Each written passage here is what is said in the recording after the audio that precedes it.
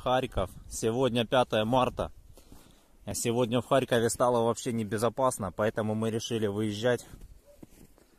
Вот так вот выглядит холодная гора.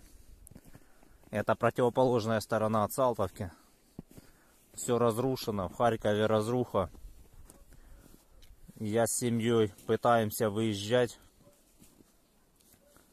Не знаю, что будет дальше. Будем надеяться, что это будет недолго. И мы сюда еще вернемся.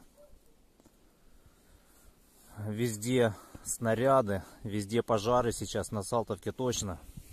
Вот это вот Салтовка район.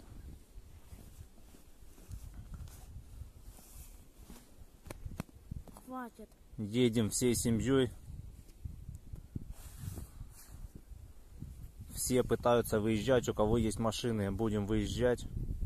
Заправиться тоже сейчас негде, заправки закрытые. Вот это вот пару фотографий с нашего района, откуда мы уезжаем. Это все Салтовка, напомню.